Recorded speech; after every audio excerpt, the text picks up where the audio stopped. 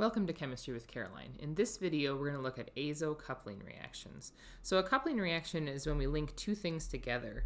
So you can see that I've got an aromatic ring here, and I've done a shorthand version here, but AR for aromatic ring.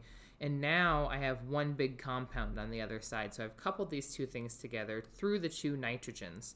So you need one aryl derivative aromatic compound with an X group on it that's electron donating. And this is going to be what sort of initiates the reaction. And then you need a diazo compound, and this would be the electron acceptor in the reaction. So let's go to the next page and we'll look at a specific example and the mechanism behind this coupling reaction. So here I have a specific example. I've got my aryl group with the electron donator on it, and that's what's going to be my electron donator for the whole reaction. And then I have my diazo compound, so this right here is the diazo portion, and that is going to be the electron acceptor and allowed for the linkage of these two things together. So let me change colors here for the mechanism arrows in order to avoid kind of steric interactions, you're going to only see para substitution for this type of reaction. So these electrons will fold in and that will kick these over and kick these out from the para position to minimize electronic repulsion and steric repulsion.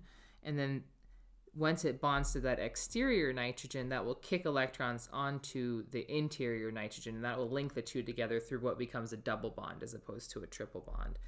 So if I draw out the product of that reaction, I would have this.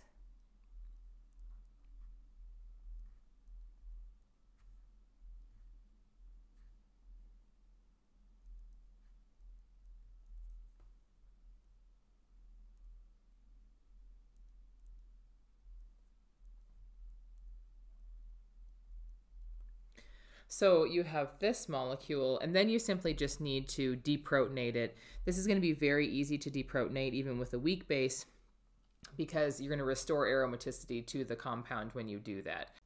So I'm just going to put base right here, and that will grab this proton, kick those electrons in, these over, and that back out onto that group and that will give me my neutral compound restoring aromaticity, and I'll draw that on the next page.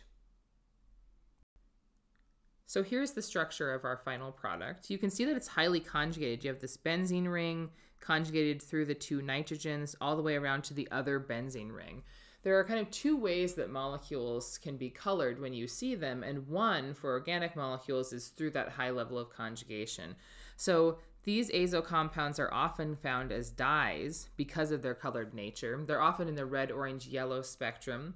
Three of the seven FDA approved food dyes are actually azo compounds.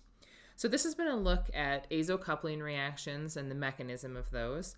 If you found this video useful, please like, subscribe, and share with your friends. Thanks.